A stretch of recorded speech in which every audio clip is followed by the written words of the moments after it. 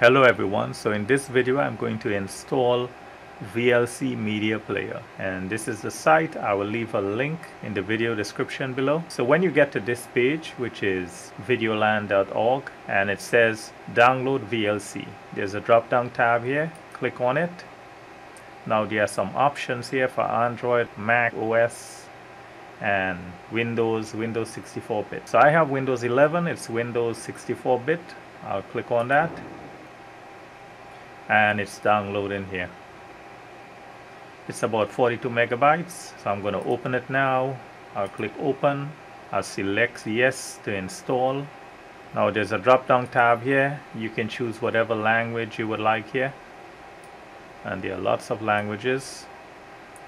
I am going to select English click OK click next click next now you can leave this as default. I'm just going to leave it as is. There's also a drop down tab here and it says custom recommended minimum full. I'm leaving it as default which is custom. I'll click on next and this is the default destination folder. It's going to be installed. So the space required is 179 megabytes. Click install and it's installing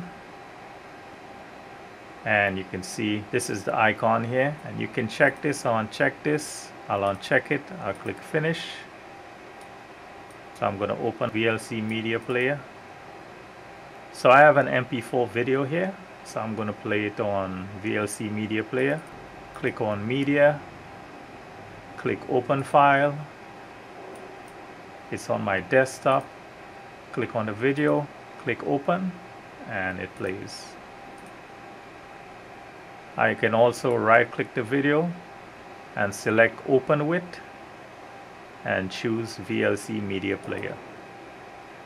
So I hope this video was helpful to you. I thank you for watching and I thank you for subscribing